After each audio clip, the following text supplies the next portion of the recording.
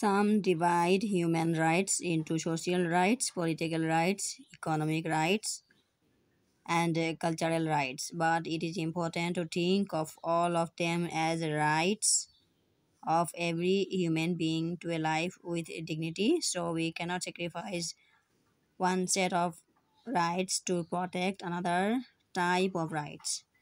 Here is told that rights are divided into many parts as political rights, economic rights, social rights, and cultural rights. But it is important to understand that uh, all of them, uh, all of them, as rights of every human being to a life with dignity. So we cannot sacrifice any set of free any set of rights to protect another type of rights